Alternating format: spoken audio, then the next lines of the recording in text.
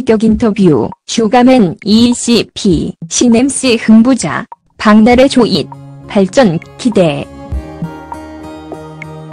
일간 스포츠 황소영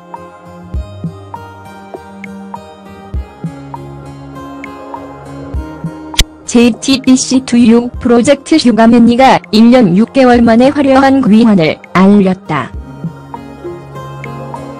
시즌 2를 넘어선 시청률과 온라인 화제 성쌍끌이에 성공하며 향후 활약에 대한 기대감을 높였다. 시즌 1에서 유재석, 유희열 콤비의 작사가 김이나와의 이1 출신 산다라박이 MC로 호흡을 맞추었다. 시즌2의 뉴욕 콤비의 개그우먼 박나래, 레드벨벳 조이가 새로운 조합을 완성했다. 특히 조이의 경우처럼 MC 신고식이었기에 어떠한 모습을 보여줄지 주목됐다. 이들은 설렘 가득한 표정으로 안정적인 진행을 보였다. 슈가맨 이윤현준 CP는 15일 일간 스포츠에 화면에 보이는 그대로였다. MC들도 기대를 많이 한 방송이었다.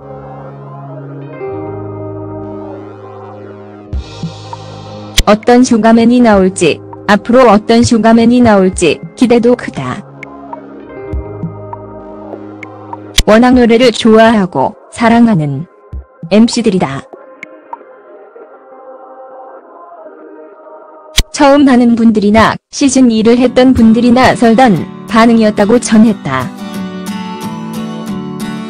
신입 MC로 투입된 박나래와 조이에 대해 묻자 박나래 같은 경우 워낙 흥이 많은 친구다.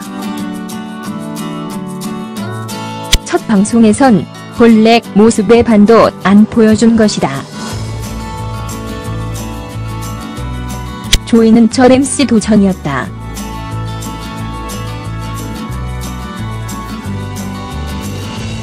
유재석 씨나 유희열 씨를 신경 쓰지 말고 하고 싶은 대로 하라고 했다. 어려운 자리일 수 있는데 내려놓고 음악을 즐기려는 자세가 좋아 보였다. 질문도 망설이지 않고 단도직입적으로 던지더라. 앞으로 훨씬 더 발전할 것이라고 생각한다고 답하면서 굳건한 믿음을 드러냈다. 시청률 조사회사 닐슨 코리아에 따르면 14일 첫 방송된 JTBC2U 프로젝트 슈가맨이는 4.5536% 전국 유료 가구 기준의 시청률을 기록했다. 이는 시즌 1의 자체 최고 시청률인 3.911%보다 약 0.6%포인트 높은 수치다. 단숨에 첫 방송부터 시즌 1의 기록을 넘어서며 심상치 않은 출발을 예고했다. 이날 방송에는 바람아 멈추어다오 이지연과 정영덕스 클럽이 슈가맨으로 출연했다. 이지연은 3년여의 짧은 활동을 끝으로 갑작스럽게 가요계를 떠났던 이유와 함께 명곡 메들리를 라이브로 들려줘 위를 즐겁게 했다.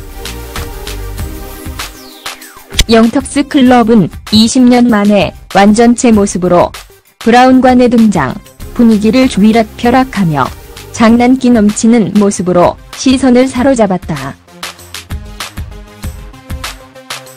황소영 기자광 소엽, 네트, 조인즈, 컴